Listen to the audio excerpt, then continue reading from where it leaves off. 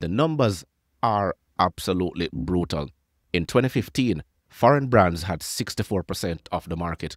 By 2030, it's predicted to be just 24%. Volkswagen used to sell 3 million cars. Now, they can barely sell 2 million cars.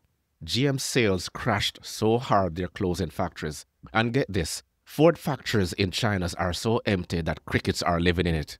You can actually hear them, and that is absolutely no joke. China's biggest tech brand, Xiaomi, just built a supercar to silence the auto world. The SU7 is fully electric, brutally fast.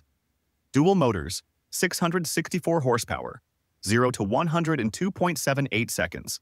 That's faster than a Porsche Taycan. But what's scarier? It's smart. HyperOS connects your phone, your home, even your voice. This isn't just a car. It's a rolling device with instincts, and the world noticed.